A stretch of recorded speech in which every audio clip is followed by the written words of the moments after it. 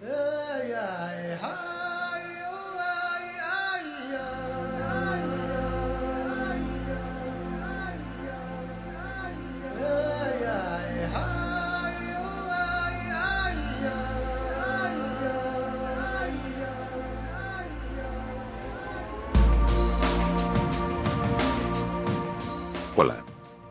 Soy Neto 2.0, y estoy de regreso porque el que hace las presentaciones está enfermo de la garganta. Así que los dejo con Mario y el burro en La Hora Muda. Que los disfruten.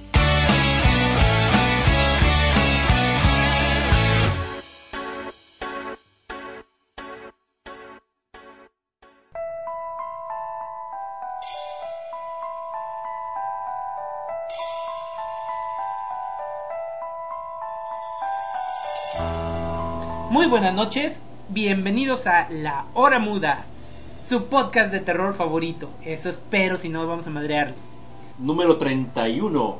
Ya 31, pues sí, ya. Ya estamos- 31, Mario. Eh, pues sí, güey, o sea. 31, o sea, estoy imitando.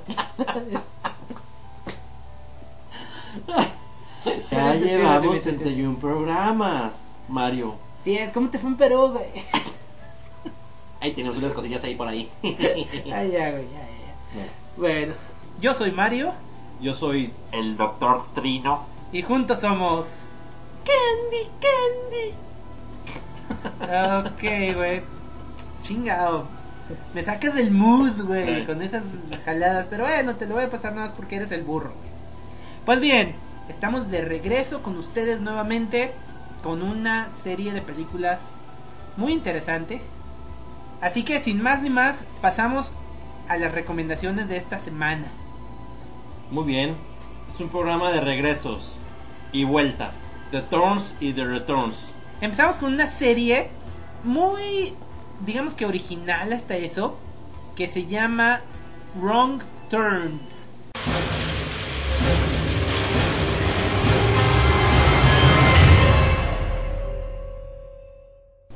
El camino hacia el terror.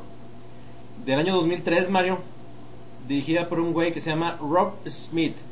Que también dirigió una película de terror con la misma protagonista. Que se llama The Alphabet Killer. Yo creo que después vamos a comentarla. Así es, burro, también es interesante decir que está producida por Stan Winston, Ajá. que ya lo habíamos mencionado antes como uno de los genios de los ochentas de maquillaje y criaturas y monstruos. Ajá. Y se nota, güey, o sea, las criaturas que salen aquí, digamos, por así decirlo, están muy bien, muy bien hechas. Es una muy buena serie de, de películas eh, con secuelas que ahorita vamos a hablar de ellas. El escritor es Alan McElroy. Es el creador de las criaturas. Y además es el guionista de Halloween, Halloween 4, güey. Órale, eso no sabía, burro. Siempre me sorprendes con tus datos tan interesantes. Pues bien, esta película trata sobre un tema que es en parte leyenda urbana, pero con un algo de verdad. Ajá. Sobre los hillbillies deformes allá por el sur de Estados Unidos. La pregunta que siempre nos hemos hecho y les he hecho a mis amigos, ¿realmente existirán esas personas, ese tipo de personas? Pues igual y quién sabe. O sea, Igual y o no. Pues igual y sí, burro. Se supone que entre tanta endogamia, como lo Endogamia. que es tener sexo entre hermanos, pues, y los productos, pues salen deformes, Entre miembros de la misma familia. exacto, y combinado, combinado con desechos tóxicos que hay en los pantanos y lugares cercanos, se supone que salen deformes. Y este trata sobre un grupo de hermanos justamente deformes. Así como las películas de Masacre en Texas, como Joyride. Sí, cierto, me recuerdo principalmente esa de Hills Have Eyes, pero esa era más por radiación, Ajá. porque estaban ahí por donde hacían las pruebas radiactivas. Total que estos hermanos se dedican a cazar y comerse a todas las personas que agarran en sus territorios. Son tres güeyes principalmente. Es uno eh, que se llama Tres Dedos, ¿Por qué, güey? eh, porque tiene tres dedos. Órale, qué original, cara. Otro que se llama Un Ojo. One Eye, ¿Por qué se llamará así? híjole. ah, ¿Porque no tiene sé. huevo? A lo mejor porque nació el día de Santo Un Ojo. No sé, no sé. Santo Poco. Bueno. Pendejo. ¿Y el otro? El otro güey que se llama Dientes de Sfiera. Sawtooth, así es, burro. Dientes de sierra que te muerden y te rascan toda la pinche piel. Ok, bueno, el punto es que un chavo que va a una entrevista de trabajo toma un camino equivocado. Bueno, no tan equivocado, sino en el sentido de que hay una colisión, digamos, un, tra un tráiler volteado y se tiene que agarrar una un atajo, Una ruta alterna. exacto, por los bosques sin saber lo que le espera. Ya estando ahí, chingale, va a chocar contra unos güeyes que estaban a mitad de la carretera. Que hicieron lo mismo. Exacto. Y pues ya con los dos carros desmadrados, pues no les queda más que ir a buscar ayuda. Desgraciadamente se van a meter a la boca del lobo, cara. Exactamente. Llegan a una cabaña diciendo, no, pues aquí a lo mejor nos prestan el teléfono, o nos dejan usar el internet, o mientras paso al jacuzzi y la regadera. Pero no, es una cabaña así totalmente desmadrada con partes de animales y humanos. Para empezar encuentran un pinche cementerio de, de automóviles Ay, ahí. sí, de todas las pinches épocas. Yo creo que de la, desde la prehistoria, güey, los carros. Ay, no mames. ruedas de Pues piedra sí. hasta la actualidad. Dicen, ¿qué pedo? Por cierto, los protagonistas es eh, el estudiante de medicina que se pierde. Es, Es Desmond Harrington, ándale, que lo conocemos muy bien nosotros como Queen. el detective de la serie Dexter, que nos encanta, que ya hemos hablado mucho de ella. Así es, así es. Y la otra protagonista es Elisa Dushku, también muy famosa. muy famosa sí. actriz, eh, actualmente en la serie Dollhouse. Y también sale Manu Tricky. Emanuel Tricky, que es una encueratriz, también muy Ajá, que a lo mejor la conocen como la novia de Sohan Ujú. en la película de Sohan con Adam Sandler. joven. Así es. Pues sí, entonces ellos son las víctimas. También sale Jeremy Sisto, Ah, sí, cierto. este sí, famosísimo cierto. actor también de muchísimas películas. Que ya lo habíamos mencionado antes. Ajá, que es el amor platónico de May, la chava loca que surce Esa mera. las telas y los hilos. Espero que ya hayan visto May para estas alturas. Que hayan, Ya- que hayan escuchado el especial de Viejas de, Locas. De chavas raras, güey. No seas tan políticamente incorrecto. ok. De pinches bueno, viejas.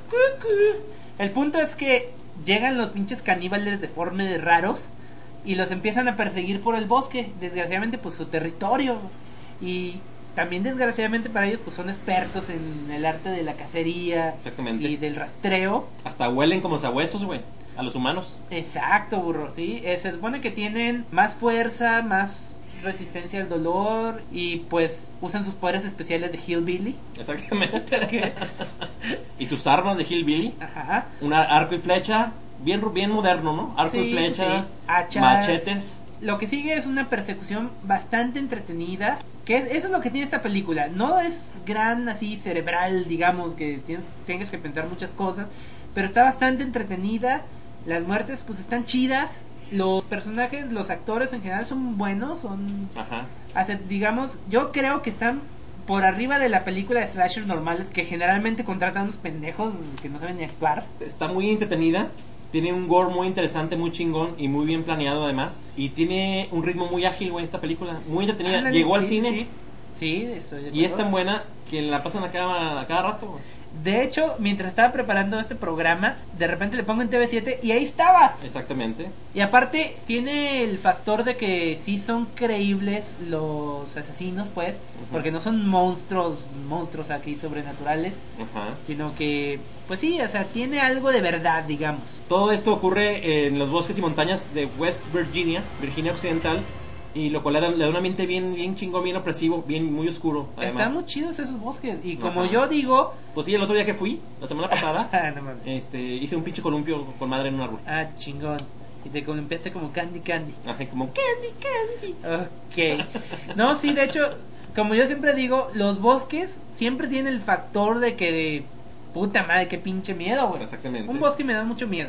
Está chingón esta película porque no dan mayor explicación del origen de los fucking hillbillies, motherfuckers. Exacto.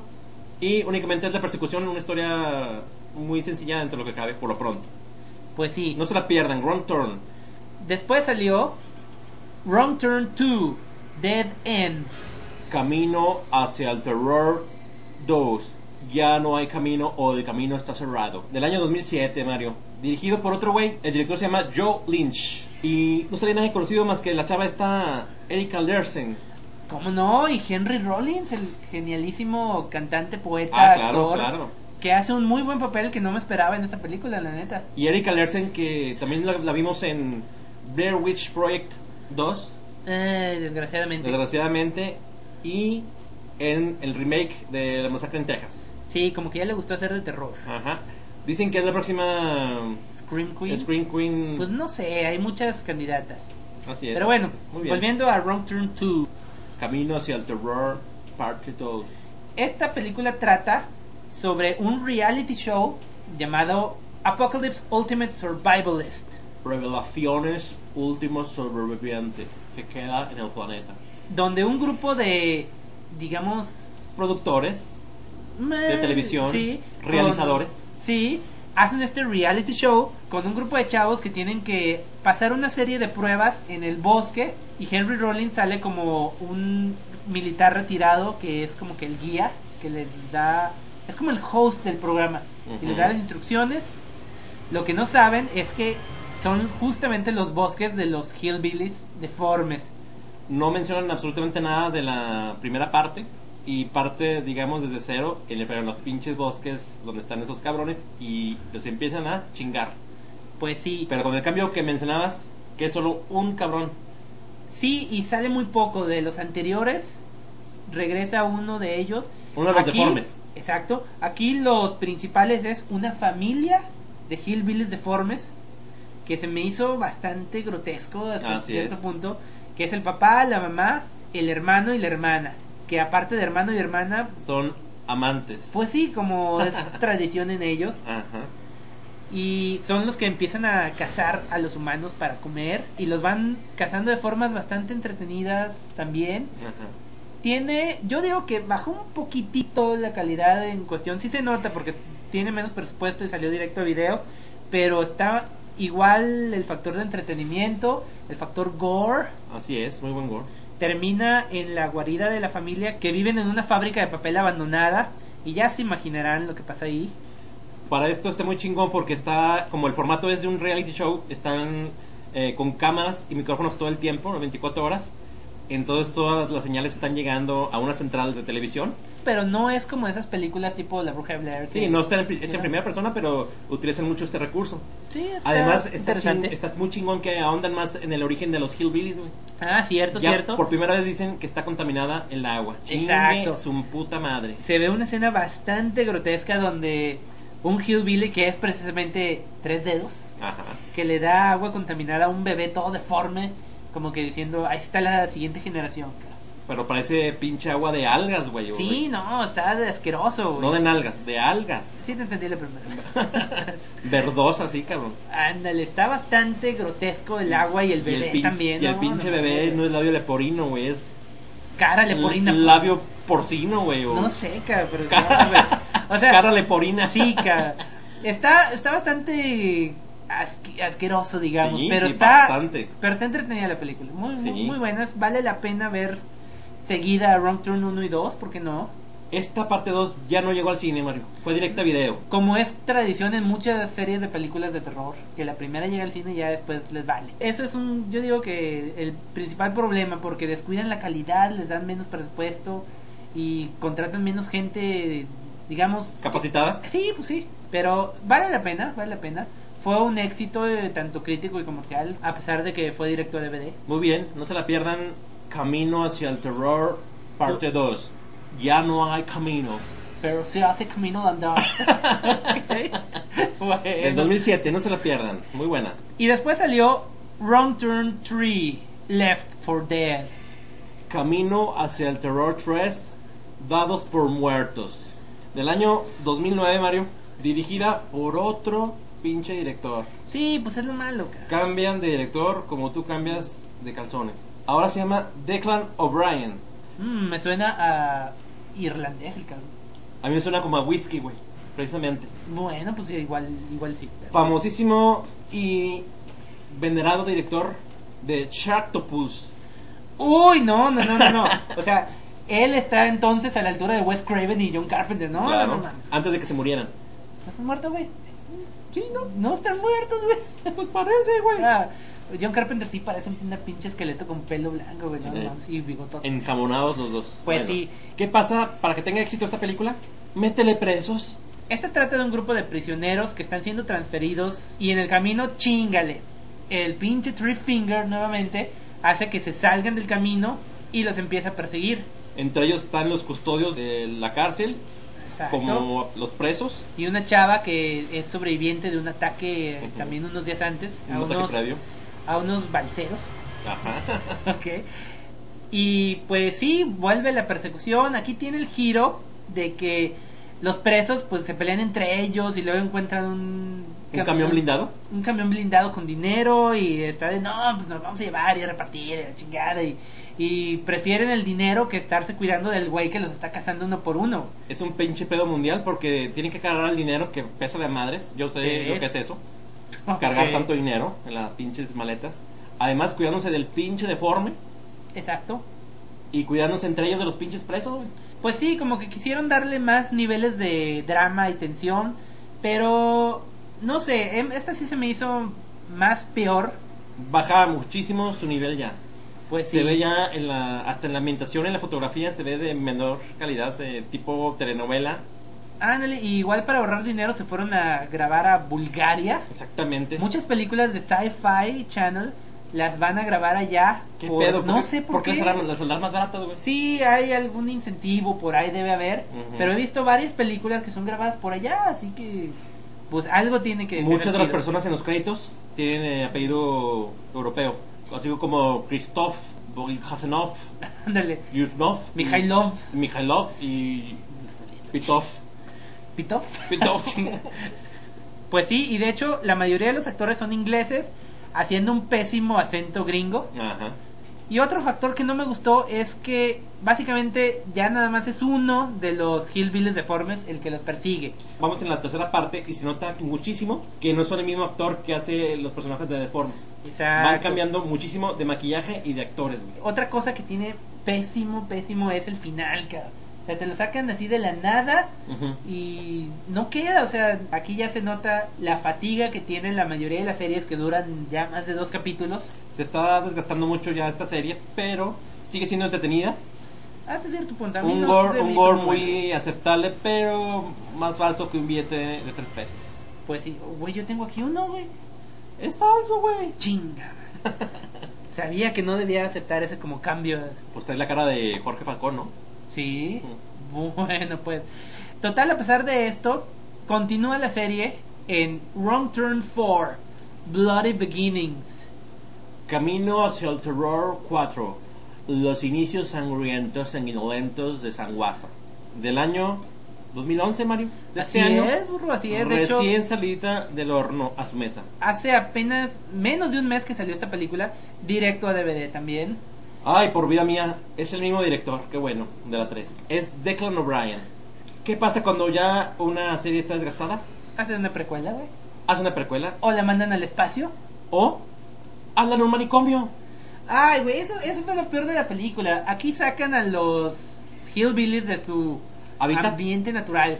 O sea, es como si sacaras a Jason y lo mandaras al espacio. Ups. Bueno. Pues sí, esta es una precuela de las anteriores. Vuelven a salir los tres hillbillies Pero jóvenes. de la primera, exacto. Cuando son niños, Desde niños que están en una institución psiquiátrica. manicomio, pues. Manicomio.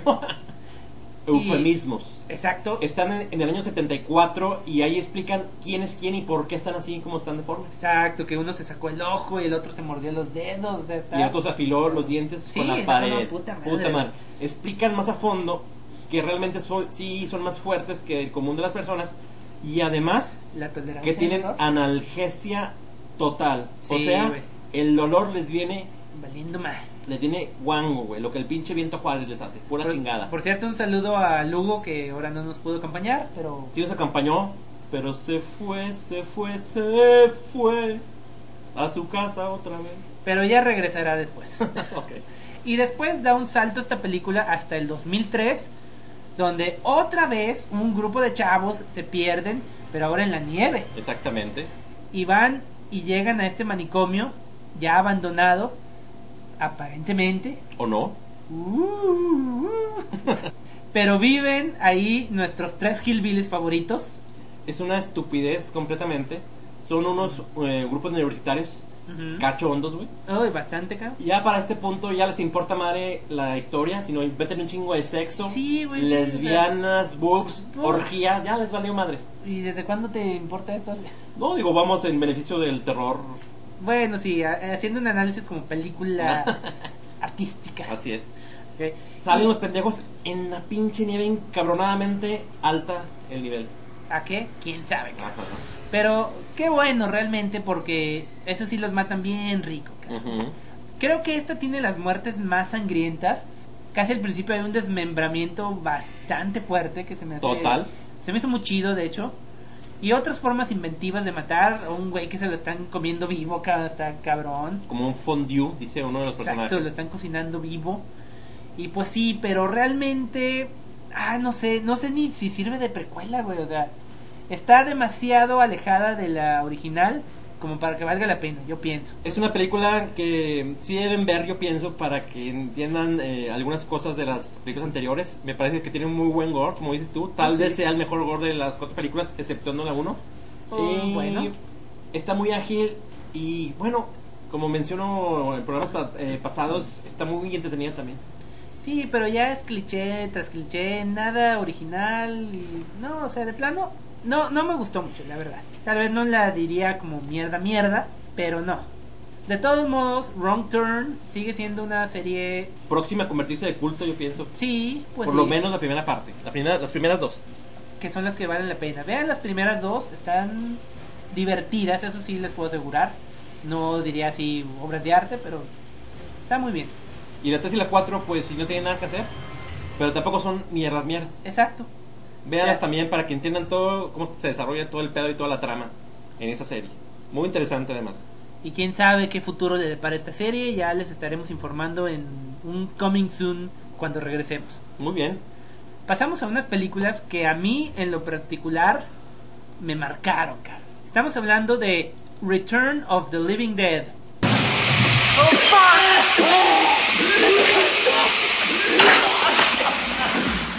El regreso de los muertos vivientes. Del año 1985, Mario. Eras un cabrón que se me en los Uy. pañales. Bueno, pero fíjate que yo vi primero la 2. En el 85 no vi Ah, pues qué pendejo. Pues algo, pero bueno. Esta película tiene orígenes muy interesantes. Así es. De hecho, esto es una continuación de la saga de Romero que hemos estado manejando desde el principio del programa, que empezó con Night of the Living Dead de 1968. Night of the Living Dead generalmente se considera como película de George A. Romero, sin embargo, una parte muy importante fue el escritor John Russo, Así es. Fue coescrita en conjunto con él. que junto con Romero le dieron la forma a los zombies como los conocemos ahora. Son los que establecieron las reglas, básicamente. Y desgraciadamente terminaron mal su amistad, su relación profesional y se separaron. John Russo se quedó con el nombre de Living Dead, por eso las secuelas de Romero se llaman nada más Dawn of the Dead. Of the Dead, de los Of the muertos. Dead, en vez de Of the Living Dead. De los muertos y de Rousseau es de los muertos vivientes. Así es, entonces John Russo regresa para hacer The Return of the Living Dead, que no es una continuación directa, pero toma ciertos temas, Elementos. elementos Night of the Living Dead, de hecho la mencionan La mencionan, O sea, pero como película, no como un hecho real. en parte. En parte. Esta película es sobre. Es en un almacén de material médico. Donde Frank, el ya veterano que trabaja ahí, está dándole el tour de bienvenida a Freddy, que es el nuevo chavo. Y le está enseñando todo. Se especializan en cadáveres. Ajá. Tienen perros cortados a la mitad para los veterinarios. Completamente irreal. Exacto. Esqueletos. Completamente irreal. Exacto. Un, o sea, cuando nosotros andábamos buscando esqueletos, fuimos al pinche panteón, güey. Exactamente, pero no es extraoficial eso. Ah, eh, sí, cierto. Y tienen un cadáver colgando como res. Congelado. com- completamente irreal. Y todo amarillo por alguna razón. Amarillo, pues. Bueno, Ictericia. exacto. Aparte mariposas, o sea, ¿para qué chingados? Pues no sé, pero se supone que tienen todas esas cosas. Porque proveen a las facultades de medicina, a los institu- institutos de ciencias y cosas por estilo de investigación. Pero pues, realmente no existen ese tipo No de- existen ese tipo de almacenes. Bueno, ¿O sí? Frank le está contando a Freddy, el nuevo, sobre la película de Night of the Living Dead. Según él, fue basada en hechos reales pero el ejército o el gobierno de Estados Unidos le dijo a Romero que no podía pasarla tal como fue, así que le hizo muchos cambios. Y entonces dice, ¿sabes entonces cómo le hicieron? Pues con un gas especial que se llama trioxin. Trioxina. Y le dice, ¿quieres ver? Ahí tenemos en el sótano. Lo lleva al sótano y le enseña varios barriles de metal. Lo destapa y a través de un vidrio se ve un pinche cadáver. Ajá. Y se supone que ese gas sirve para revivir a los muertos. Y durante los 60 se salió de control en un hospital y de ahí tomó Romero la idea de los zombies. Curiosamente, si hay un gas o una sustancia química que se llama dioxina, que la usan nuestros amigos de la luz, de la comisión. Oh. Dioxina, mejor conocidos como ascareles, altamente tóxicos en el agua y en el ambiente. En serio, burro, nunca, Chingue su madre. nunca dejas de sorprenderme con tanto dato tan interesante. Muy bien. Es verdad, eh, investiguenlo. Así que si hay algún ataque de zombies, culpen No. a la comisión. Con culpa de la Comisión Federal. No es trioxina, es dioxina. Ok, Ay, qué pinche miedo. entonces dice, oh, pero ¿es, es seguro tener ese gas aquí? Lo sí, no hay pedo. Y le da un golpe y madre se empieza a salir el gas y el cadáver se empieza a derretir, cara. Entonces se contaminan ellos y se contamina todo el almacén. Le hablan al jefe que es Klug Gulager, Ajá. muy conocido por nosotros por esa serie de Feast que ya comentamos en un programa anterior. Ajá. Aquí es el papel Del dueño del almacén, que es el jefe de Frank y de Freddy. en un papel bastante cómico y hilarante. De hecho, de todos. Eso es lo, que tiene esta película, que tiene mezcla comedia con, con terror. Y entonces dicen, no, pues vamos a deshacernos de todo esto que revivió. Porque no sigue las reglas de Romero. El cadáver que estaba congelado, le perforan el cerebro y ni madres que se muere. Lo cortan en cachitos y los cachitos te siguen atacando. Ajá, que también lo hemos visto en algunas películas que hemos comentado. Como Brain Dead que comentamos hace Está poquito. súper de risa eso. Entonces van a una casa funeral de un amigo del jefe y le dicen, no, pues ayúdenos a quemar todo este desmadre. Y lo queman y el humo de lo que queman, chinga, le empieza a llover y se infiltra en el panteón que está ahí cerquita, ahí al lado precisamente, Que se llama El Panteón de la Resurrección. Un nombre muy adecuado. donde un grupo de chavos representantes de los ochentas, Bastante ochenteros. Parecen los bailarines del video de It, pues de no sé, Jackson. güey, lo- los agarraron bien estereotípicos porque están los chavos y chavas punk, los metaleros, el güey que parece de Duran Duran, el negro funky Así es. y la chava buena tipo Olivia Newton-John o algo así. Ah, exactamente. Están haciendo su desmadre en ese cementerio, precisamente, cuando empiezan a revivir los muertos. Mientras está bailando es la chava esta, la actriz Linnea Quigley, que Linnea ya Quigley. mencionamos anteriormente, en el papel de Trash, que es una, una chava punk. exacto, y ella hace un papel muy, muy chido en Night of the Demons. Se la pasa encuadrada toda la película. Toda la película, así es. bail- haciendo su bailecito, como les encanta a esas Screen Queen bailar. Esta baila en la tumba y así muy sabroso acá de, ah, eh, a sabor, a su kiki. Y se arma el desmadre Muy bien. Donde los zombies tratan de comer cerebros y los chavos se refugian en la funeraria junto con los demás. Esta película es muy buena, eh, la consideran como una sátira de la película de Romero, del Híjole. clásico. Una sátira, pero muy bien hecha. Híjole, Si te cagas de miedo porque hay un, hay un zombie en particular. ay güey, el llamado Tarman. Así es, el hombre de Chapopote. Así es, burro, que es. Se supone que es el cadáver que estaba dentro del barril. Tienen muchos zombies como animatronics. Muy buenos. Ah, sí, sí, hay muy, una, una que muy está cortada a la mitad. Ay, güey, hay uno que me da un chingo de miedo. Que es un güey sin piernas ni brazos. Ajá. Que corre a madres, güey. ¿Cómo? véanla, véanla para que vean. Es muy chingón ver cómo nada más, nada más van exclusivamente tras el cerebro. ¿Por qué sabemos Exacto, eso? burro. Porque les preguntan directamente a los zombies y, y se ponen a razonar con ellos, güey, a platicar con ellos. Eso es la, la principal diferencia con la serie de Romero. Estos zombies son conscientes, Conscientes de que son zombies, son inteligentes, son básicamente como eran al morir, pero con el impulso de comer cerebros, nada más cerebros. Si se preguntan por qué está el cliché de que los zombies dicen brains, brains, Ajá. es por esta película. Hace un tiempo tuve una plática con el CEO de Caliente Podcast Network, saludos a Claudio, que me estaba preguntando justamente por eso. El licenciado Claudio Cuevas. Así es. Y le dije que eso surgió a partir de esta película. Antes, los zombies comían la carne humana en general Y estos se van por el cerebro que porque les quita el dolor de estar muertos. Así es. Ay, güey. Esto se me hace muy chingón. Sentimos mucho dolor de morir. Ay, güey, no mames. Y se me hace muy chido que también son inteligentes. Por ejemplo, están los paramédicos y se los comen. Ajá. Y uno de los zombies agarra el radio y dice, manden más paramédicos. Me cagué de risa con eso, güey. Sí, está Bueno. genial. Otra cosa es que a los vivos que inhalan el gas también se afectan y poco a poco empiezan a perder signos vitales. De hecho, los paramédicos llegan y dicen, ay, güey, están a temperatura ambiente, no tienen reacción de... No tienen pulso. No tienen pulso, Ni frecuencia cardíaca o sea- y tienen temperatura de muerto. O sea, básicamente están muertos excepto que nos están hablando, güey. Exactamente. Y entonces poco a poco les empieza a afectar esto y les entra chingale el hambre por cerebros. Muy bien. Es una película excelente, comedia y terror. Si se pregunta por qué eh, esta película es tan exitosa y de culto, se debe mucho al director, que se llama Dan O'Bannon. Un director bastante comercial, Ajá. bastante ha hecho películas muy buenas, Es el- tal como Nada más y nada menos que es el creador de Alien, la película. Además es el guionista de Total Recall, El Vengador del Futuro, Life Force, la de los vampiros Exacto. Eh, extraterrestres. Invaders from Mars, que también nos gusta mucho a nosotros. Y otra película que próximamente yo creo que hablaremos de ella, Screamers. Así es. Excelentes es películas más, todas estas. es más conocido como escritor que director, pero ha hecho muy buenas películas clásicas ya de los ochentas. Desgraciadamente no regresa para Return of the Living Dead Part 2. El regreso de los muertos vivientes corre que te casi se muere el cerebro, parte 2 de 1988. Estaba- es, burro. estábamos saliendo apenas de la primaria. Ay, qué bonito. Con otro director, lamentablemente, como tú dices, director y escritor, que es el mismo, se llama Ken Gitterhorn. Esta película volvemos a retomar el gas trioxin que durante un- 2, 4, 5. Ah, sí, se me olvida el número.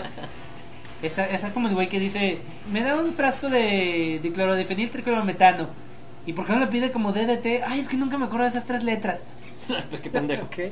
Bueno, Tenga su chingazo. Claro. Me acordaste de un chiste de que habla del ciclo pentanoperido fenantreno. ah, también, también. Muy bien. Ya hablamos del ácido desoxirribonucleico. Ya, güey, no. sí, güey. Cataca. Ay, qué mamón. Ok, ya, ya, ya pues. Entonces, mientras están transportando este gas, estúpidamente el chofer va oyendo su pinche Walkman, güey, no mames. Pinche ejército lo fusilaría por eso. Se le cae un barril y cae en un cementerio cercano. Donde le encuentra un chavillo y unos bullies, Ajá. Unos molestadores. así es. Y chingale, abren el pinche tanque. Que se cuela nuevamente por el piso del cementerio en esta secuela. Y nuevamente reviven los muertos. Una cosa curiosa es que regresan los actores James Karen y Tom Matthews. que interpretan a Frank y Freddy en la 1, pero dos papeles completamente diferentes. O sea, es no muy extraño y, y nunca nos han dado explicación de por qué. Pues sí, o sea, en esta en esta película son ladrones de tumbas, entran al cementerio a robarle las joyas y etcétera de los muertos. Los anillos y todo el pedo, todas las posesiones de los muertitos. Así es. Ay, qué cabrón. Y pues ellos están ahí durante la infección y otra vez les afecta el gas. Aquí el, el chido, el chido one es el chavillo Exacto. güey. que actúa muy inteligentemente y se los quiere chingar, avis- primero avisándole a todo el mundo, Y qué raro, no le hacen caso. no le hacen caso. la hermana y el novio. Y entonces sigue una persecución por todo el pueblo y llegan a usted una planta de electricidad donde está tal vez la clave para eliminar a estos zombies. ¿O no? Uh, Esta película me parece tan buena como la primera.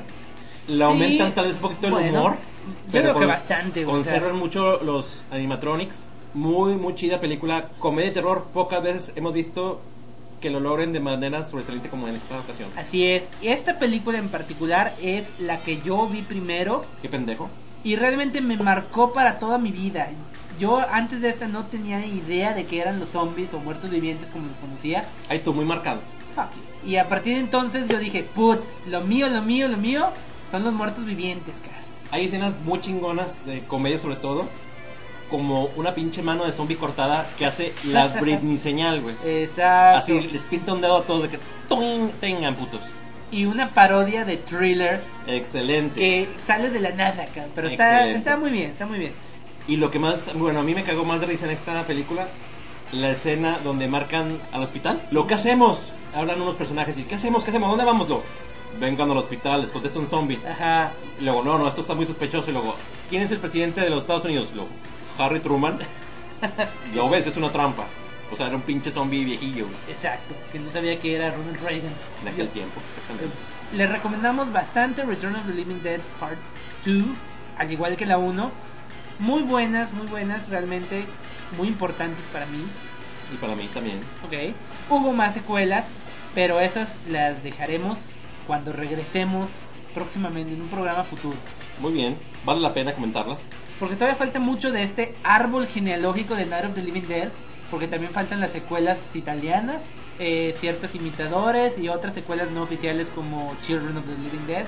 Que ya comentaremos después. En universos alternos o que siguen otras otra línea de tiempo. Pues bien, burro, eso fue todo en este programa. Qué bueno que nos acompañaron. Y espero que se la pasen chido, aunque ya no es Halloween. ¿Qué, güey? ¿Qué? ¿Qué? ¿Qué, güey? ¿Qué, güey? ¿De qué o qué? Falta la No, güey.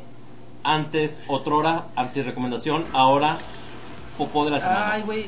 Pero en serio esta. Tenemos Mira, que decirla. aquí, aquí neta te tengo coraje, güey. Porque tú me hiciste sufrir. Yo esta película no la conocía, tú me la pasaste. Ajá. Y no, no, o sea, la veo y te miento la madre todavía, güey. Pues muchas gracias. Fui engañado como un niño Exacto, esta al ver película, esta película. Es una popó. Se llama The Return.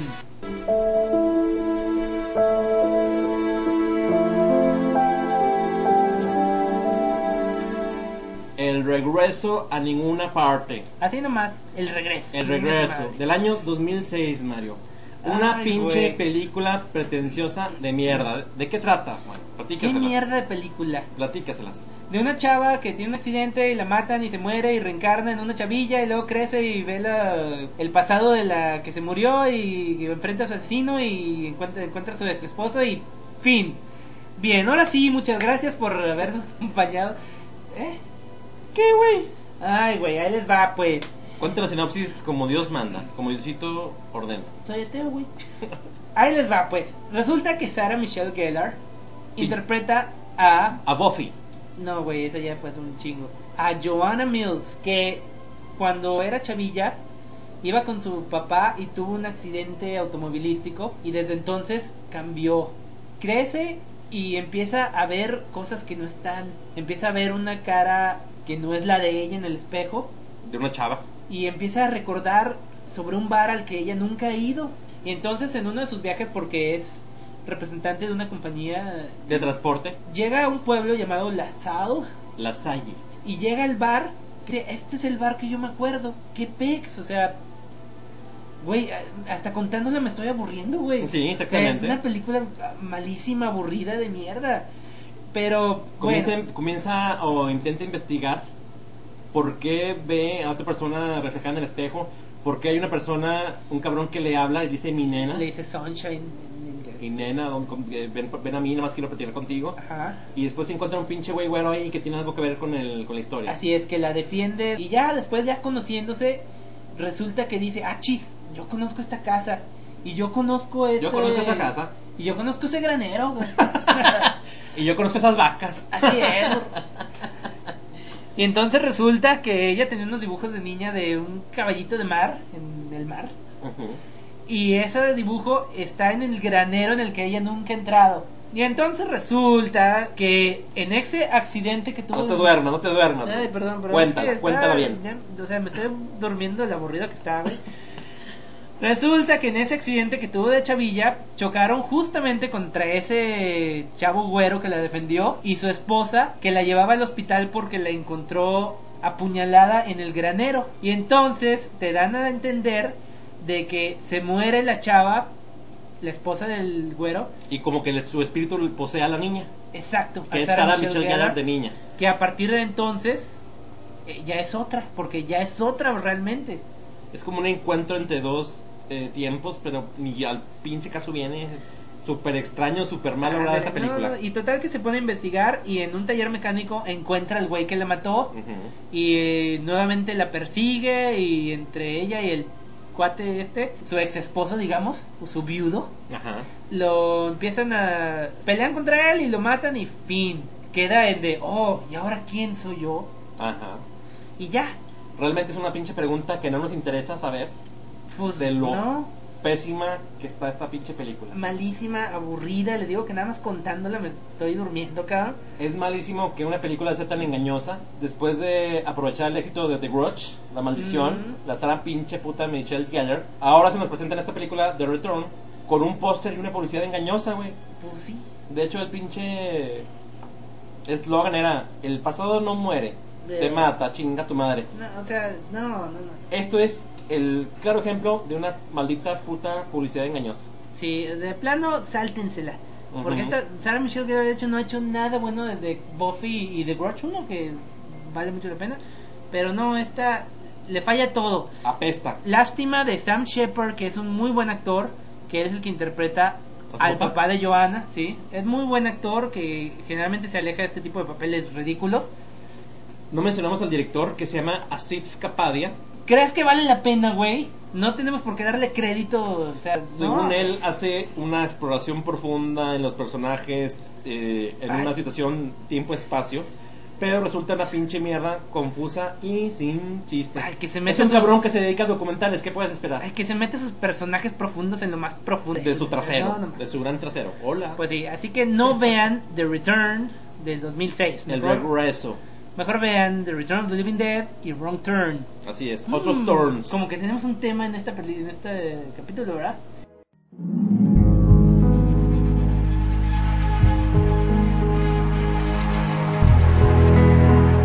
Pues bien, ahora sí eso fue todo. Muchas gracias por habernos acompañado. Recuerden escribirnos a lahoramuda.com y entren a la página de Facebook, La Hora Muda, para platicar y ponerles cosas chidas. Y aparte, Para stalkear. Exacto, hace mucho que no decías, pero sí. Ya extrañamos a los Stalkers, de veras. Ya, ya, ya no soy. Ya no somos ¿no? stalkeados, ya no somos tan requeridos. ¿Será bueno eso? ¿O no? ok. Y bien, y recuerden escuchar también con el calzón por fuera, si es que les gustan los cómics, con nuestros amigos Claudio y Neto. Saludo. Un saludo hasta Belice. Esta fue una producción de Extrañera Productions para Carinto Podcast Network. Si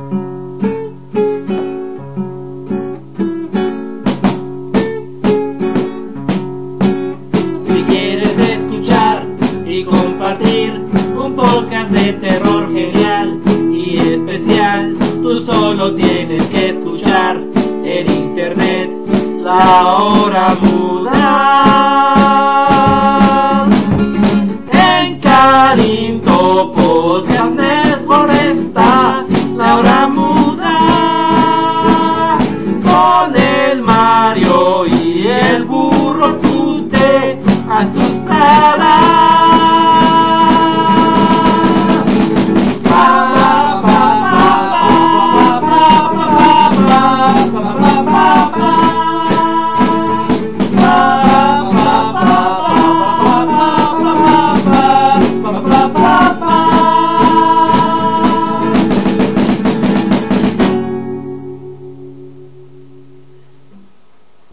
Gracias a la hora muda Spectacular Band por esa rola.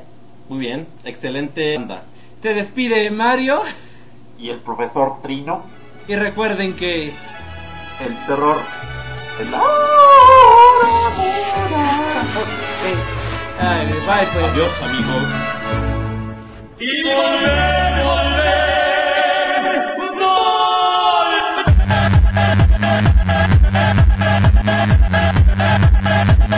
Yeah.